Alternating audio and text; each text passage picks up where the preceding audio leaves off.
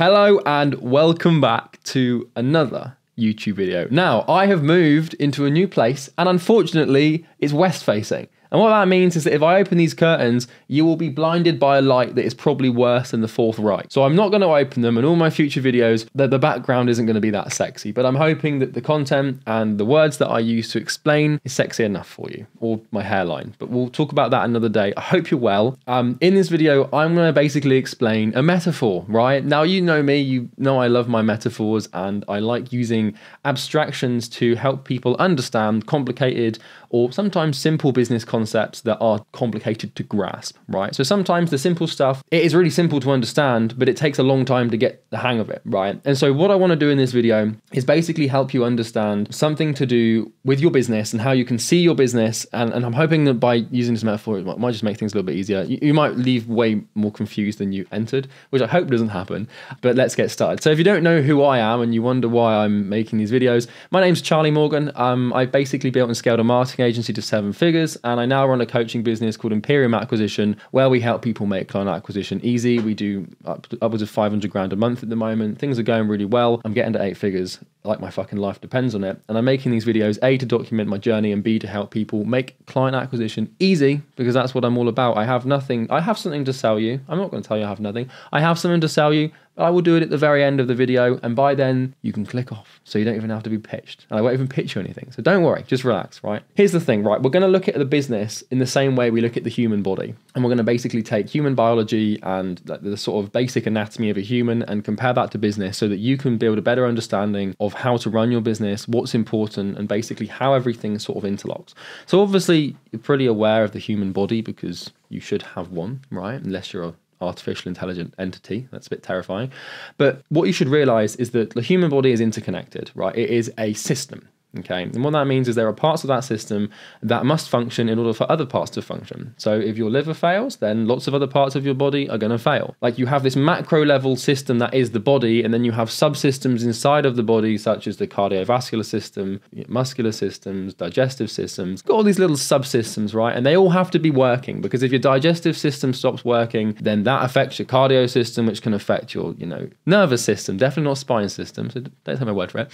But you see the point, right? Now, how hell does this relate to your business and, and how is this going to help you make more money and understand things? Well, that's what I'm here to explain. Your business is a system, right? It's, it's an entire big thing, right? It's just like the human body, it's a macro system made up of subsystems that must all be functioning in tandem for the system as a whole to run, right? And so this is an important lesson in systems thinking at the beginning is when we look at a system, we're, we're looking at an aggregate of other subsystems. So like the body is not a system. It is technically a system, but it's basically, it exists as a sort of coagulation or congregation or aggregation, whatever fancy term you want to use, to denote the co- combination of lots of different systems in place. So your business is the same, right? So we have systems for sales, service delivery, customer support, onboarding, counting, payments. You've got systems for appointment booking, although you might not because most people struggle with that. You might have systems for ads. You, you, you've got all these systems basically. The thing about the human body is there are some systems that are more important than others. Or not all systems are built equal, is what I'm saying here. So, like if you look at the human body, for example, if your nervous system fails, you're fucked. You're dead within a second, right? If you get shot in the brain or if you get like shot in a certain part of your, you know, your spine, that's it. Either you're going to be paralyzed from the neck down for the rest of your life or you're dead in in a split second. But if your kidneys fail, if that system that, you know, processes liquids and stuff fails, then you can be put on dialysis and like the rest of your body can sort of function. Same if you had COVID and your lungs failed, right? You can be put on a machine, but if your brain fails, you're fucked. Now that's also the same thing with the heart. So the two most important organs or systems inside of the body by how quickly they would kill you if they failed, you're going to have your nervous system and your cardiovascular system. Because if you get shot in the heart or the brain, you're dead.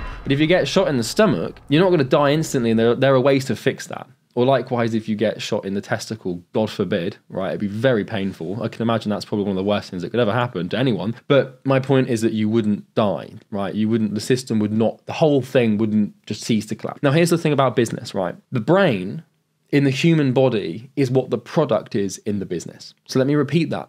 You need to understand this. The brain in the body is what the product is to the business. So the product is like the brain. Now I don't mean the, the metaphor doesn't extend in the fact that this this product is this all all encompassing powerful thing that dictates everything. Kind of is that, but my point here is that if your product gets shot, and what I mean by that is if it's shit, if it doesn't work, then everything else will fall apart. Now, your business won't die like an immediate painless death if you if you get shot in the product as you would in the head if you were a human. Might get demonetized for actually talking, talking about all this.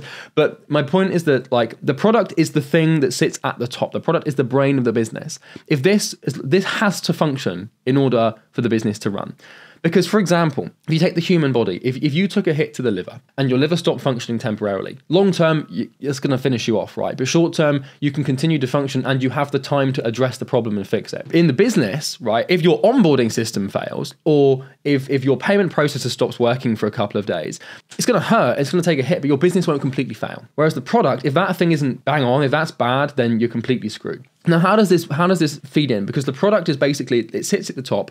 It is the most important thing, and technically, your product isn't a system. It's an entity that encapsulates your ability to deliver results or solve a problem for someone. So you can't really look at it and point it and say that is a system because it's an item, a piece of leverage, something that someone uses to get what they want or accelerate a future version of themselves they want to achieve or a reality they, they desire. Right. So it's not something you can point out as a system. But my point here is like it's kind of like the brain.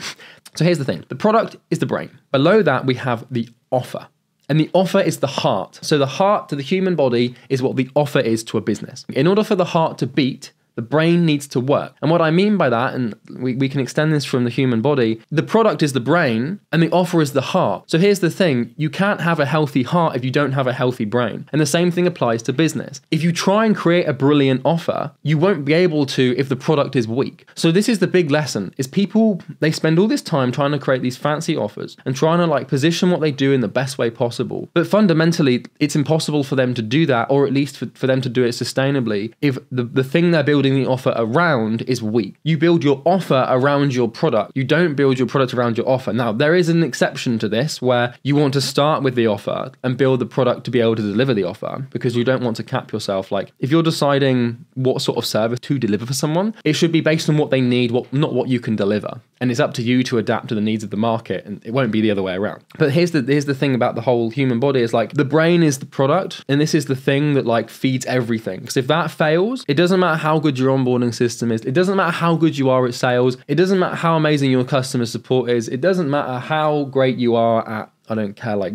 keeping your accounts in order. If the product is bad, everything else falls apart. And this is why in my company with Imperium Acquisition, I spent the last nine months building my product. 12 hours a day, basically locked in a room, doing nothing with no life. It wasn't fun, but I spent all that time on the product because I know that like if you get the brain right, everything else functions. And like, you know, we don't need like you can have the most amazing product in the world and have a pretty shitty onboarding system, but clients won't mind because the product is so fucking good. If you're not spending time on the product, then you're wasting your time. Now, here's the exception. The other thing you want to focus on is the offer and the acquisition, and that's the heart. Because if the heart stops beating, then you're also fucked. Because the heart is the thing that sends blood around to the other systems, and that's what sales and acquisition does. So, sales is like the heart of the business is also kind of like it's the offer, but it's also the acquisition channels you're using to get people. So, generally speaking, like all the other systems are sort of they're, they're negligible in terms of leverage and impact on the outcome of the business's function in terms of success right? If you get the product right and you get the acquisition right, everything is very easy.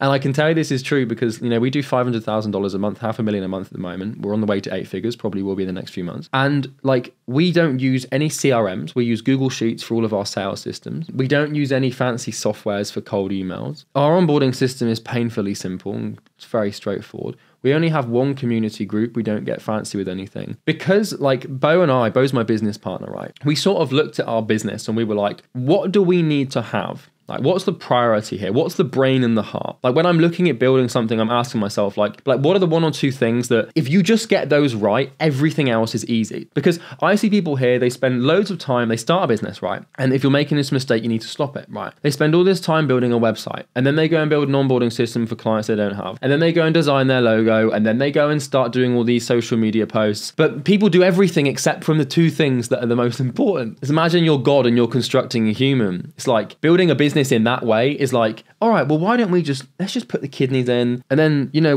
we'll we'll put the spinal cord in because that they, they might need that. Oh yeah, let's also let's go and whack the liver in, and we'll put the spleen in. Why? That's when you do like a fucking website. It's useless, right?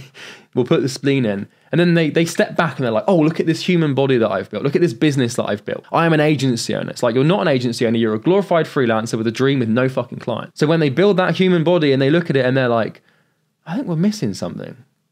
And it's just a sack of organs because like you haven't got a brain, you haven't got a heart, you haven't got a product, you haven't got an acquisition system or a good offer. Because here's the thing about acquisition: it's like in order for client acquisition, I, I learned this. This is a, the probably the biggest epiphany I had last year when I was building my product. For client acquisition to be easy, the product has to be hard to make. The harder it is for you to make your product and deliver your service, the easier it is to acquire clients. And there's a direct correlation. The easier it is for you to deliver results for people, the harder client acquisition becomes. Now, don't get me wrong, right? I find it very easy to deliver results because I've put the hard work in. My point there is that like the harder it is for you to build the system that delivers the results, because the, the, the harder it is typically is a denotion of how successful you're going to be, because it's like you're putting all these hours in, all this time, all this effort in, and that's good. Like you you you do that, and then because you spent so long doing it and it was so hard to build, when you go and sell it, you've got so much conviction. You can create incredible offers without any fear of the backlash of, of people asking for refunds because you know it's fucking brilliant. And so, like, for me, client acquisition is a breeze.